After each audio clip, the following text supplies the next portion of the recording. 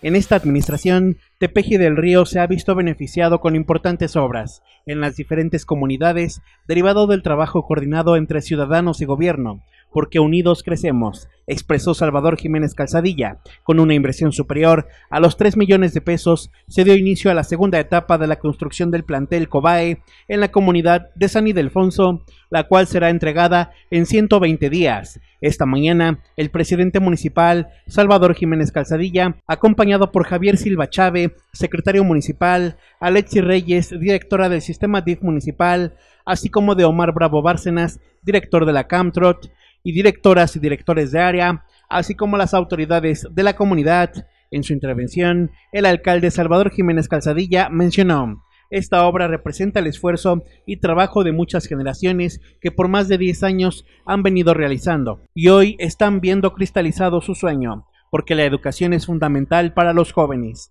También dijo, es una obra que ha significado un gran esfuerzo de muchos años, pero que hoy es una realidad y el cual beneficiará a alumnos en sus diferentes actividades educativas y de las inclemencias del tiempo. Hoy estamos cumpliendo con los tepejanos, porque aquí en San Ildefonso hemos realizado grandes trabajos, pavimentaciones, apoyos, porque sabemos de las necesidades de la comunidad. Decirles que seguiremos trabajando arduamente hasta el último día de mi gestión. Por su parte, la directora del plantel agradeció a la administración municipal por tan importante obra.